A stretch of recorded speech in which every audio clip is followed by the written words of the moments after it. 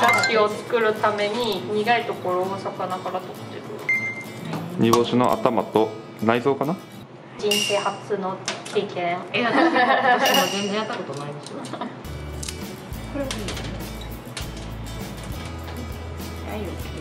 でかいな。私は買っても一番小さいパックを買おう。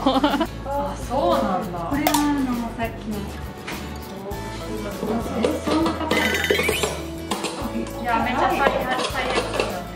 煮干しでドライドベビーサーディンと昆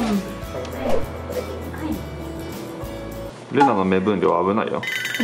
なんで？絵が小さいから全然大丈夫ですよ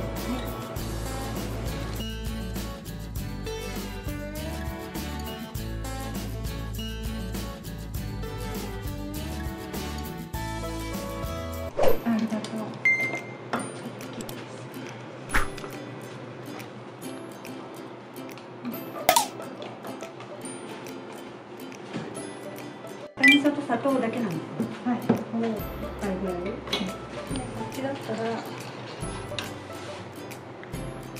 ちょっと味見します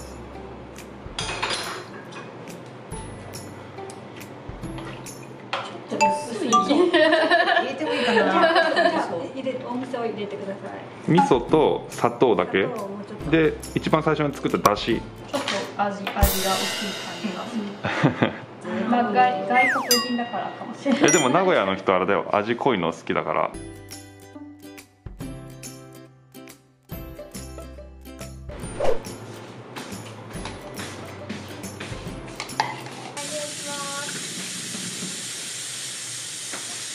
ここに来てサボテン登場しました。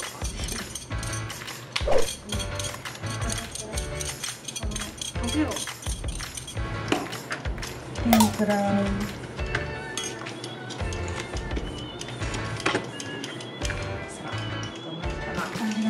です。バサ盛ります。えー、酸っぱい。多分梅よりは酸っぱさがあります。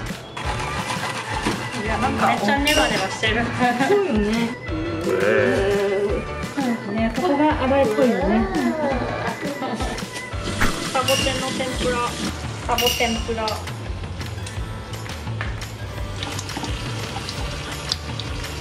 わあサボテンぷらうまそう。ちょっ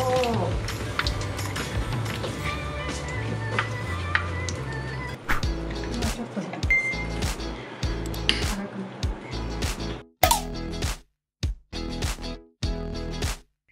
るレナさん包丁の持ち方が違います。指切りそうなんですけどなんか指がだから私はもうほぼ毎日料理してるけど自分を聞いたことないから大丈夫だよ。まだね。そうベジタリアン用の手羽先とはい。味噌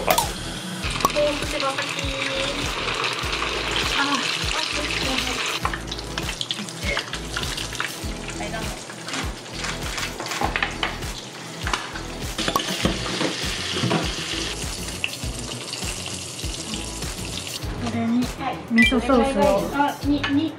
噌ソース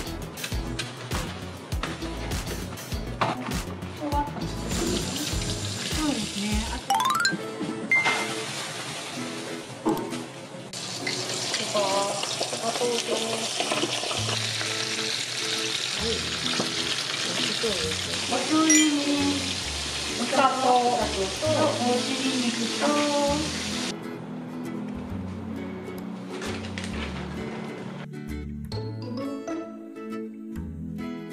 これ豆腐手羽先で普通の手羽先と同じ味付けに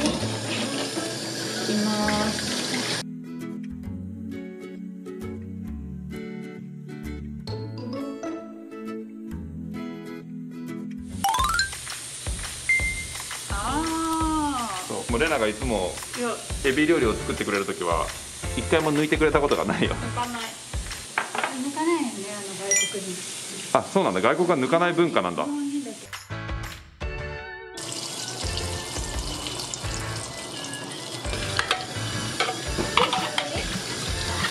サボテンソース投入。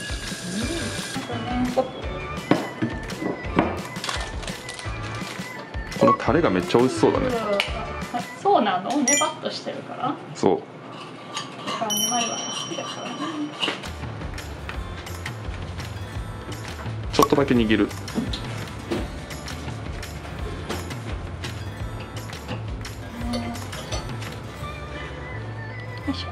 ほぼ完成です。これはベジタリアンの味噌カツサンド。他は2種類の土手に手羽先ベジタリアン天むす。普通の天むす。ベジタリアン手羽先。名古屋飯の特徴は全部茶色です。で味がめちゃくちゃ濃いです。すっごい美味しいです。はいいただきます。何で始めればいいかわからないさ。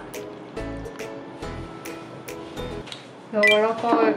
土手に美味しいベジタリアンのドテニがめっちゃ美味しい。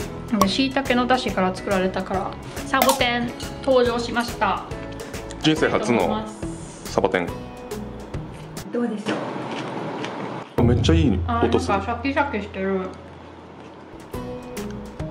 味が酸っぱい。うんドレッシングをつけてサボテンサラダ。あでも酸っぱいありますね食感がいいよね。そうシャキシャキしてるからね。サラダにめっちゃ合う。ジリ天むす私は天むすが大好きだよ実際あ多分名古屋に住んでない人だったら天むす食べたことない人いっぱいいると思うよ。もヘルシーじゃないん。だ全くヘシはありま豆腐味噌カツサンドめっちゃ美味しそうあれも入ってるサボテンサラダまあ味噌の味が効くし揚げてる感じもあるから。うまいよねさっき食べたけど俺。ね普通にうん。味噌カツ。味噌カツだよね。どうですか？うまい。甘辛。甘辛のタレ。おー。すごい美味しい。まあゆっくりと。豆腐手羽先の方がベジタリアンになるんですか？好き無理。あ俺サボテン食べてない。うん。うん。辛い。え？あ私が入れたの。一個入れたやつ。超辛いんだけど。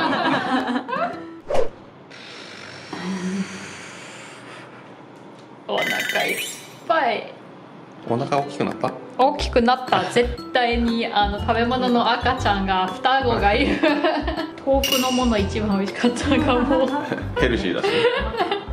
そう。豆腐の使い方ねすごい工夫できる。うん今日びっくりした。それは勉強になった。大満足。だよね大満足。本当にありがとうございました